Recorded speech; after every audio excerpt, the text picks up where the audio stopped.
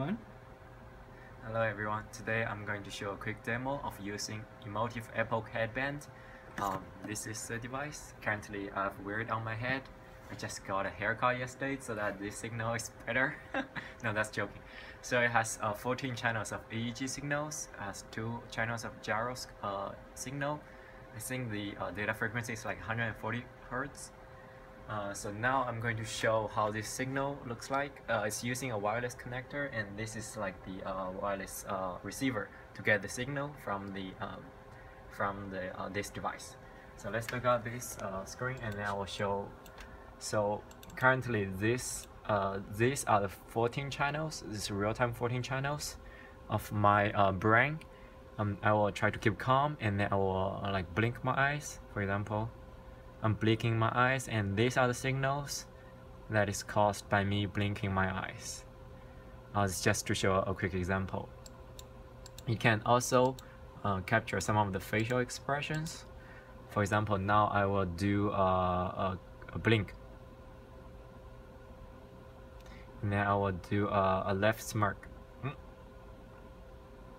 A right smirk. Mm. Mm. Um, try to do a throw my eyebrows yes.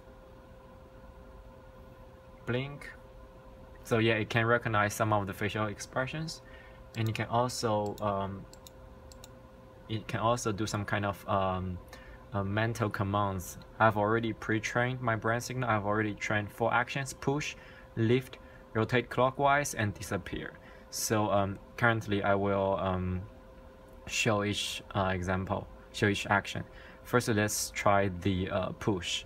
So I will uh, close my so close my eyes so that it, uh, it gets into a kind of a neutral position. Then I will sync push, and then let's see if this thing uh, moves.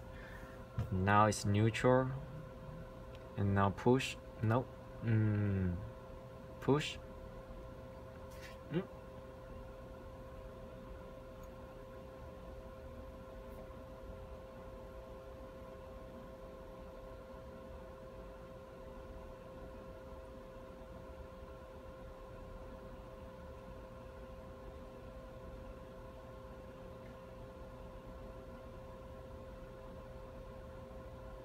Yeah, so that's the push uh, command. As you can see, uh, it gets some of the force lifting commands uh, because it's not 100% accurate. and now I'm going to try the disappear command.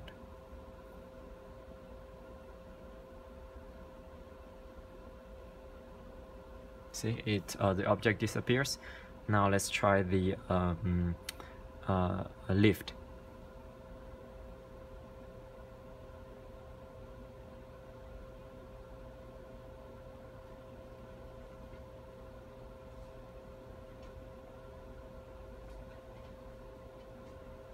Okay, and that's the lifting command. And lastly, I will try the rotate clockwise. You can look at me.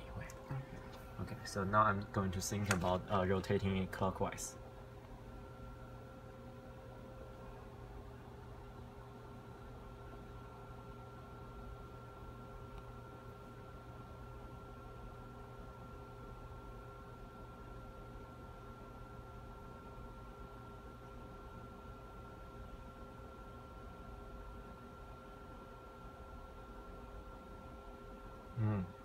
Haven't got it. Let's try again.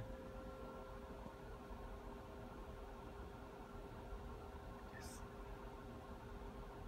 Yeah. So so as you can see, uh, it can get some of the commands most of the time. It seems that it's working, um, but it's not 100% accurate. And I so I pre-recorded some of my brain signal to train those commands. And I believe that as more and more data was collected and trained for me, it's going to work better. And another thing that is worth noting is that uh, the signals that it was trained based on my brand probably won't work for someone else's uh, brain. We can we can try it, but that's my uh, guessing. So that's it. Uh, thank you.